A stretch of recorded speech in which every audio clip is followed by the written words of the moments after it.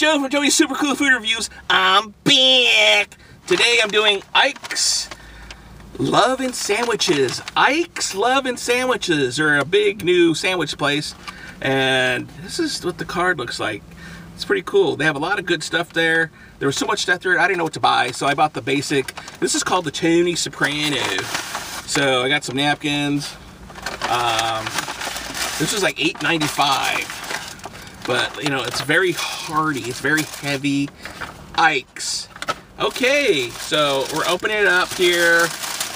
Big sandwich. I'm a big sandwich guy. I love sandwiches. So oh look at that everyone.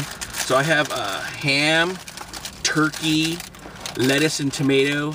I even threw in some bacon. Some really good stuff here. It looks good. So let me let me open this up and take her a look here too much. So here we go. So I got it on Dutch Crunch. I love Dutch Crunch.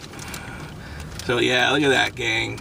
Lettuce, tomato, um, comes with turkey, ham, and salami, and bacon. So here we go. I'm gonna give it a shot. So this is Ike's Tony Soprano sandwich. I'm gonna give it a taste here. Here we go.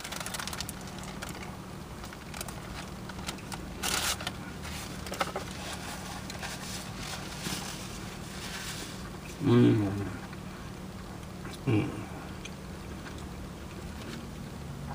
This is a very good sandwich, gang.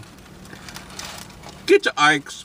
On a scale of 1 to 10, I'm giving this, um, I'm giving this a, a 9. It's really not a 10 because, you know, it's a, it's a basic sandwich and uh, if you go to Togo's and stuff, you know, you can spend an extra, you can get like the pastrami, like the classic pastrami, and that's a 10.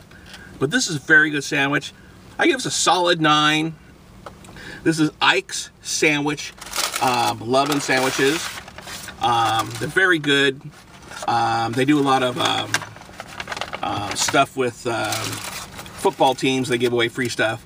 So if you're ever uh, in the area, look around and go to Ike's. It's a very good sandwich. Um, it's very tasty. And like I said, I gave I gave it a 9. Uh, it's very good for your, a good sandwich. So if you're ever hungry, pull on into Ike and get you a sandwich, okay, gang?